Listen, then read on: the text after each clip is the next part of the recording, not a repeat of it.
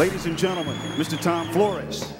But the fraternity is forever, and this honor will also be forever, and I'm very humbled and thankful of that. Thank you. Ladies and gentlemen, Mr. Rafer Johnson. And I'm pleased to be in this class where uh, those who have demonstrated the idea of being the best that they can be are being recognized. And I thank you very, very much for this honor. Please welcome the lady, Jackie Joyner Kersee. I would like to um, thank so many for making this possible. And Christian, I thank you for asking me to be here and to be inducted with this illustrious group of individuals. And I am very, very humble.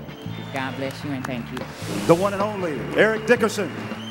But thank you again for having me very much, and, and, and good luck to everybody else. Ladies and gentlemen, it is my pleasure and privilege to present our next inductee to the California Sports Hall of Fame, Coach Bill Walsh. Here's a project.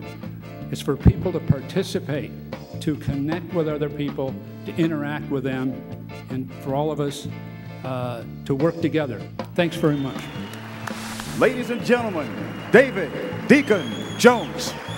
Every man or woman is free to rise to the heights to which they are willing and able.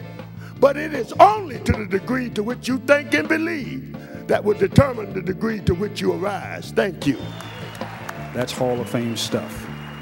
Ladies and gentlemen, that's Tommy Lasorda. I am deeply honored to Christian. I'm deeply honored to be inducted with the inductees of such great talent. And I'm so thankful to God that I pos- um, it's possible for me to be here to see all of this. This is the very best class that California Hall of Fame could have it at its induction ceremonies. The one and only Mr. Marcus F. Part of my success is, um, is greatly owed to all of you out there, and I just want to say thank you. God bless you, and continued success for this uh, wonderful endeavor, Christian. Um, well deserved. You should be very, very proud of yourself.